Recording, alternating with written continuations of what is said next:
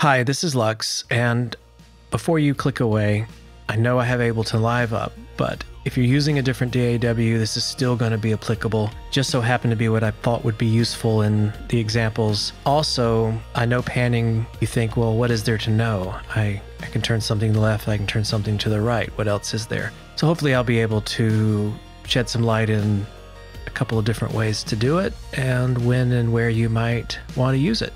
So first, grab this plugin called Stereo Tool. It's free. It's by a company named Flux, and I'll leave the link in the description. Not only does it have an incredibly cool visual, it is also super helpful, especially if these panning options aren't available to you easily in the DAW that you're using, or you'd like everything to be kind of all in one. In this situation, we're going to use it primarily just to watch what's happening. We're also going to be using a plugin called Utility in Ableton, which is gain, stereo, width, phase, mute, has a DC offset, has a handful of things, but we're only going to be using a couple of elements of it. Then I'm going to use a ping pong delay to help demonstrate what is and isn't happening. Okay, so I have a guitar clip on track one, and it sounds like this. Can see in the visual the how the audio looks in the stereo field. Dead center, mono, left and right, and then the sides. Ableton Live's pan works much like other DAWs out of the box. If you pan hard left, as you're panning left, it's lowering the volume of the right channel. And if you begin to pan right, it's lowering the volume on the left. In other words, it's adjusting the balance. In order to visualize this, I put utility before stereo tool so I can adjust the pan and we can watch what happens within uh, stereo tool. So let me hit play. Now begin to pan towards the right.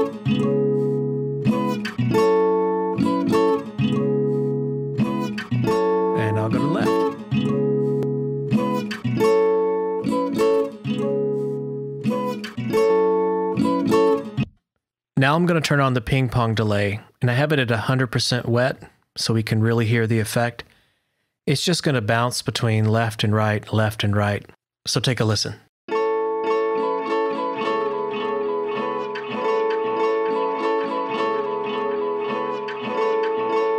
right, because we know that panning will, in this case, lower or change the balance from one side to the other, depending on which way we turn it.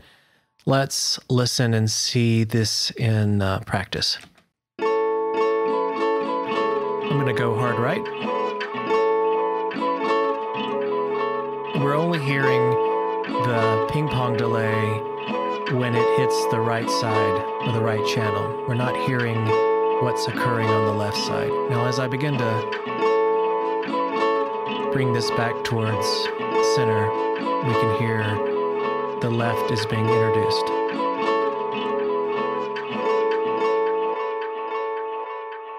Now, at this point, you might be asking, okay, great, big deal. I've known this. Uh, why are you telling me this again? Uh, so, what I'm going to show you next is the other way that panning can be approached, and where it's not changing the balance, it's actually summing, or, and I like to say, folding the audio from the right or left channel and combining that together. So let me show you. I'm sure it's a lot better than the way I just explained it. Okay, so I have the pan on the utility back to center. And As a matter of fact, I'm just going to turn utility off because there's no reason for it right now. And I'm going to use the left or right. In this case, uh, I'll use right within uh, stereo tool. Now, when I turn this, I'm actually bringing the audio from the right side over to the left. And in this case, if I use the left knob, I would be bringing the audio from the left over to the right. Much different than the panning we did a moment ago. So let's listen. All right, I'm going to bring the audio from the left side over to the right.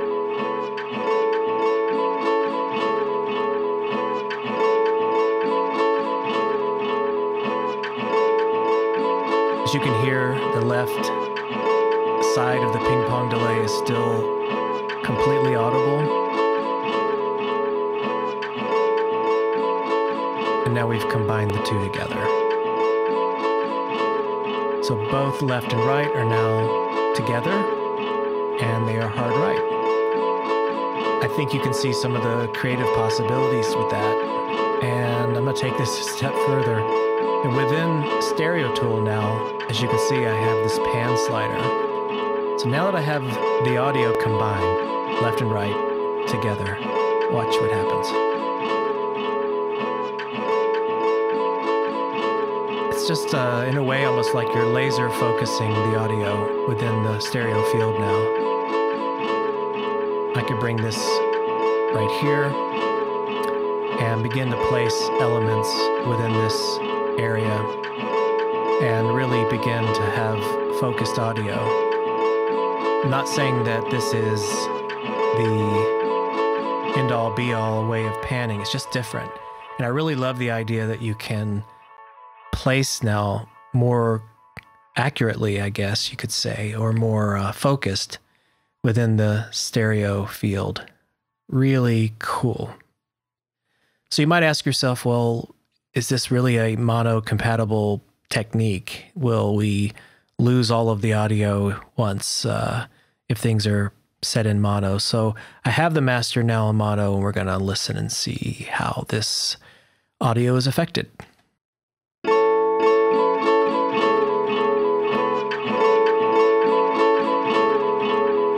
So I'm sweeping the stereo field in mono. We're not losing any volume change or other issues.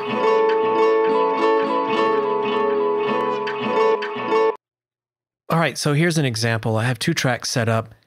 Track one, I have the same guitar loop, but we have the left side panned all the way over to the right. So we have uh, this ping pong delay now set to 60%, and second track ping pong delay set to 60% wet.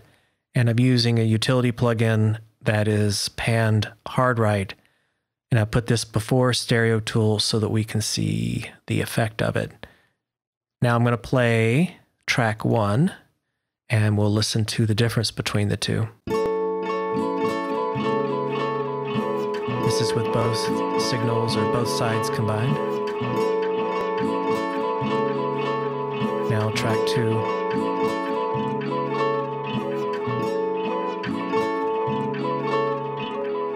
So very different.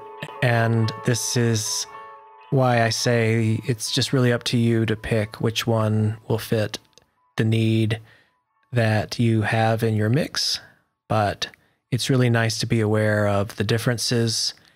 And now it's just up to you to decide where and when to use it. Okay, so one final example. I have some stems from a band called Bloc Party, and these are just uh, guitar, synth, and drums for one uh, from one of their songs. I'll start with the drums. I've got Stereo Tool open so we can look at it.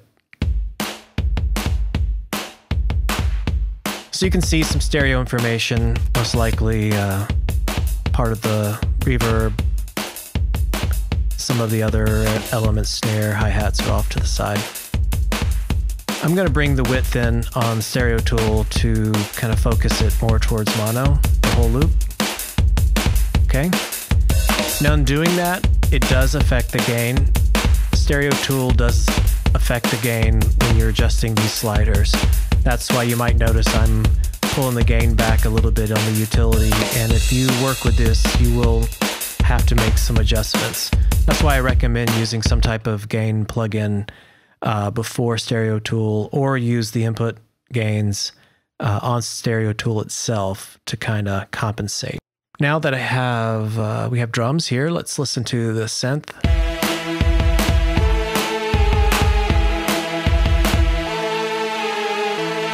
And the guitar.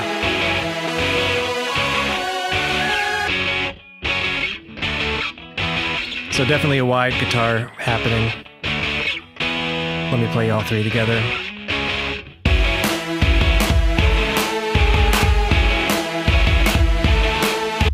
And it sounds great already.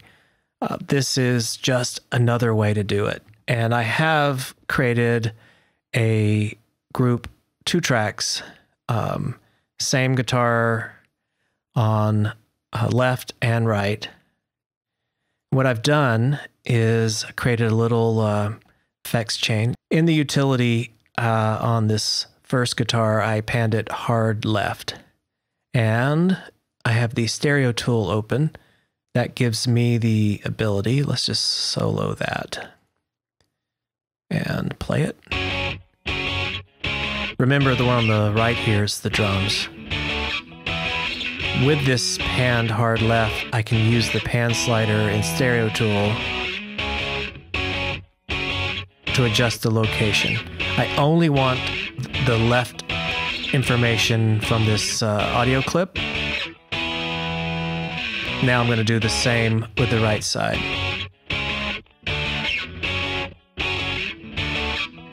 Okay, let's just start this up.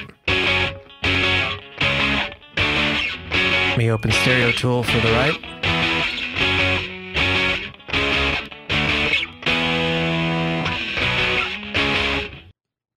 So let's play the originals together. Uh, this is going to, then I'll switch over to the uh, ones we've worked with in Stereo Tool. All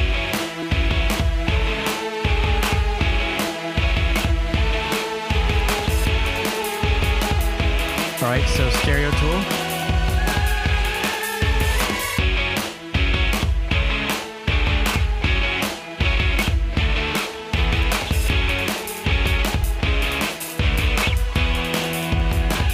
Back to the original. Now we could play with the synth a little bit here. Uh, let me open up stereo tool for it.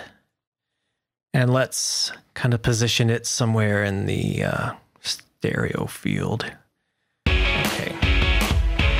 We're going to bring its width down.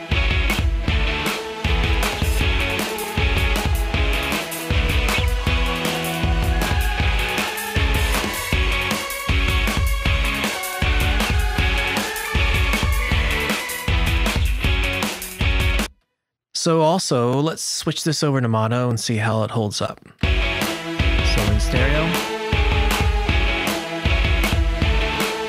And mono. Stereo. Let's listen to the sides.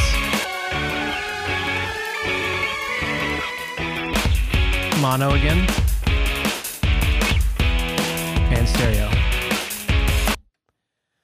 All right, thanks a bunch for watching. I appreciate it. Um, maybe I'll do some more when I get to actually play with this myself. There's something I want to work on after I read a little bit more about it called bookend panning. Bookend panning. In a way, we're doing that. If you think about the two uh, guitars that were bookending the um, the drums, but that was just the left and right sides of the uh, of the electric guitar. So in this case, we would actually choose a large group of instruments and begin to place them in various locations, and we'll do a little side by side to see how it works out. All right, so thank you for hanging out. I think this just gives you an idea of what you can do with panning and the different ways to approach it. All right, well, thanks for hanging out.